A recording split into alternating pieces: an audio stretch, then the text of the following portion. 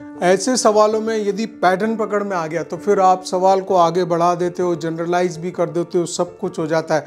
लेकिन initially pattern पकड़ में आना चाहिए कि हो क्या रहा है। ये सीरीज़ एक दे रखी थी इसने, one upon one minus three one square plus one four plus two upon one minus three two square two four, ये सीरीज़ आप देख लीजिए अप टू टेन टर्म्स तक। इसका सम ही निकालना है, sum the series, sum the series. सवाल आया था JEE mains 2024 thirty first of January का क्वेश्चन है, ठीक है? तो आप किस तरह से लिखोगे? पहले तो जनरल टर्म अगर हम लिख लिए सही से तो फिर तो फिर काम बन ही जाने वाला है। ऊपर देखिए, वन, टू, थ्री चल रहा है तो वन, टू, थ्री, फोर चल रहा है तो आर चलेगा जनरल टर्म में। अब पहली वाली टर्म की तरफ़ नज़र डालिए, ये वन है, हर जगह वन है ये तो इसको जनरल में भी वन ही होना है। वन माइनस लगना है माइनस हर जगह है एज इट इज़ है, और थ्री भी एक ही, हर जगह एक जैसा ही है तो थ्री भी वैसा का वैसे ही आएगा, है ना? और देखिए वन का स्क्वायर हो गया टू का स्क्वायर हो गया थ्री का स्क्वायर हो गया तो जनरल टर्म में हम क्या लिखने जाएँगे? आर का स्क्वायर लिख देंगे। इसके बाद में प्लस आ रहा है प्लस सब में आ रहा है तो सब में एक जैसा ही है, ठीक है? वन की पावर फोर है टू की पावर फोर है थ्री की पावर फोर है तो आर की पावर फोर जनरल टर्म में आर की पावर फोर लिखेंगे। अब रही बात की अब हम इसको कैसे लिखेंगे? अब देखिए थोड़ा सा यहाँ पे जैसे ही अब आप करते तो आइडिया हिट करने लगता है। ये आर की पावर फोर है स्क्वायर वाली टर्म है ठीक लेकिन मिडिल में मुझे टू आर स्क्वायर चाहिए था। ले, लेकिन यहाँ तो थ्री स्क्वायर है माइनस का। तो इसको एक बार थोड़ा सीधा सीधा करके लिख लो। आर की पावर फोर लिख लो। और होल स्क्वायर बनाने के लिए मुझे यहाँ पे माइनस टू आर स्क्वायर की ज़रूरत होगी। अब बाकी का जो बचेगा उसको हम देख लेंगे बाद में क्या करना है। और एक माइनस आर स्क्वायर और छूट जाएगा। तो ये जो नंबर है, ये इतना, ये आर स्क्वायर माइनस वन का होल स्क्वायर है, इसको भी लिख सकते हैं। तो यहाँ से हम दो पार्टीशन कर सकते हैं इसके। वो जो दो पार्टीशन होंगे, वो हमारा काम करेंगे मेन, कि एक तो आप लिखोगे आर स्क्वायर माइनस वन का स्क्वायर लिख दोगे, ठीक है, और एक माइनस आर का स्क्वायर लिख दोगे। तो यहाँ दो फैक्टर बना दीजिए जल्दी से।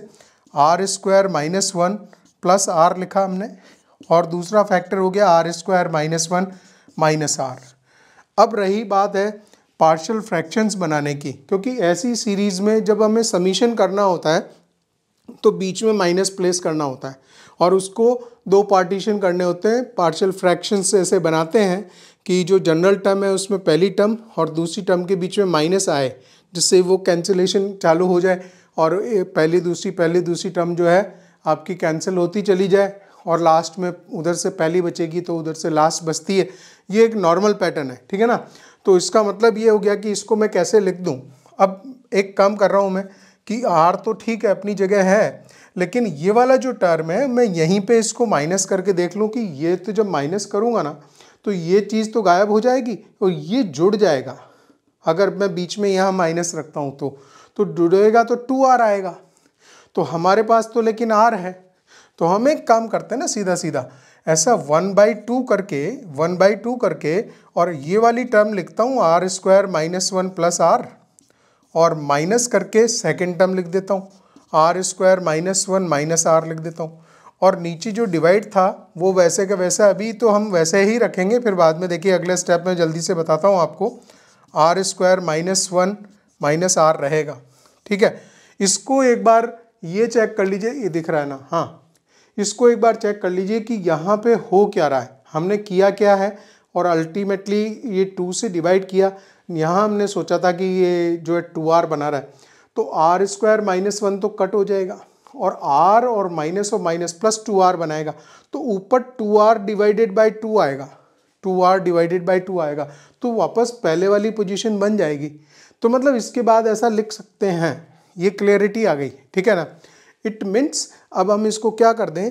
इसको हम जो है सेपरेट कर दें वन बाई टू इसके साथ जब ये सेपरेट होगा तो प्लस वाली कैंसिल हो जाएगी माइनस वाली टर्म बचेगी। थोड़ा ध्यान से बस यहीं देखना होता है। ठीक है ना? माइनस आर फिर बीच में माइनस आ रहा है। और ये जब इसके नीचे दोनों टर्म्स लिखेंगे तो ये वाली कट हो जाएगी, ये वाली बचेगी। तो ठीक है ना? इसके नीचे ये आएगा R square minus one plus R आएगा। ये जब हम लिख चुके तो अल्टीमेटली हमारा काम हो चुका है। अब बस कुछ नहीं करना है। अब टर्म्स को लिखते हुए जो है, उसने बोला था कि टेन टर्म्स का सम निकालो। ठीक है? तो हम निकाल सकते हैं। अब अब ये सारी चीज़ें जो हैं, ये मैं हटा देता हूँ। इनका कोई मतलब नहीं है। यहाँ तक हम पहुँच गए। इसका मतलब हम फाइनल पॉइंट्स पे पहुँच चुके हैं। और अब हम क्या करने वाले हैं? ये जो जनरल टर्म है हमारी टी आर इसमें मेन जो सम निकाल रहे हैं। सम निकालने के लिए क्या करेंगे? इसी जनरल टर्म में जो मेन एस निकालना है, पहला वन पुट करेंगे। वन से टेन तक हमें रखना है, ठीक है ना? तो ये जो जनरल टर्म है टी आर मतलब इसको ऐसा भी लिख सकता हूँ मैं। इसको सम सम निकालने के लिए समीशन ऑफ़ टी आर लिख सकता हूँ। आर इक्वल्स टू वन से टेन लिख सकता हूँ और जनरल टर्म को यहाँ लिख सकता हूँ मैं, ठीक है? तो कोई बात नहीं, लेकिन मैं एक ही साथ लिखते चले जाता हूँ। वन बाई टू तो है। वन बाई टू सब में आएगा तो वन बाई टू को मैं मोस्ट कॉमन कर देता हूँ। और आर की वैल्यू वन रखता हूँ पहले। आर वन पुट करेंगे ना, पहले आर वन पुट करेंगे तो देखिए ब्रैकेट में क्या आएगा? वन माइनस वन ज़ीरो और फिर माइनस वन तो ये देगा माइनस वन देगा माइनस का वन अपॉन और आर वन पुट किया है तो one one zero plus one तो ये वन आएगा। तो ये जो यहाँ स्मॉल ब्रैकेट एक बनेगा माइनस वन माइनस का वन बाय वन बनेगा, ये हो गया। अब मैं आर की वैल्यू टू रखने जा रहा हूँ। आर की वैल्यू टू रख दो। ठीक है? आर जैसे ही टू पुट करोगे आर टू तो ये क्या बनेगा? आर टू पुट कर रहे हैं। तो वन अपॉन यहाँ पे देखें टू पुट कर रहे हैं four minus one three three आएगा, है ना? थ्री माइनस टू ये वन देगा। Minus one upon R two put करें फोर माइनस वन थ्री और टू फाइव ये फाइव देगा। तो अगला जो टर्म होएगा one minus one upon five आ गया। प्लस आर की वैल्यू अब हम थ्री पुट करने जा रहे हैं। ठीक है? एक और रख के दिखा देता हूँ मैं। आर थ्री भी पुट करके दिखा देता हूँ। आर थ्री पुट करेंगे तो ये जो जनरल टर्म है जनरल टर्म में ये ध्यान रखिएगा वन बाई टू मैंने बिल्कुल मोस्ट कॉमन था कांस्टेंट था, उसको तो बाहर रख दिया है। और अब आर थ्री पुट करने जा रहा हूँ। तो यहाँ पे कितना आएगा? नाइन माइनस वन एट आएगा और एट माइनस थ्री तो वन अपॉन फाइव आएगा। तो ये वन अपॉन फाइव आएगा माइनस वन अपॉन है ना? आर कितना पुट कर रहे हैं? थ्री है ना? तो nine minus nine minus one eight eight plus three ये इलेवन आएगा। इलेवन आ गया। अब हम क्या करते हैं? हमें पैटर्न पकड़ में आ गया है और हमें ये मालूम पड़ गया कि ये कैंसिल हो रहे हैं एक्चुअल में। ये इससे कैंसिल हो रहा है। Minus one upon five plus one upon five से कैंसिल हो रहा है। तो मैं टेन टर्म रख देता हूँ। डायरेक्टली आर की वैल्यू टेन रख देता हूँ। आर की वैल्यू जब टेन पुट करेंगे आर टेन पुट करेंगे तो वन अपॉन, ये टेन, ये आएगा, आर की वैल्यू टेन है तो हंड्रेड माइनस वन आएगा, hundred minus one minus ten आएगा, minus one upon hundred minus one plus ten आएगा।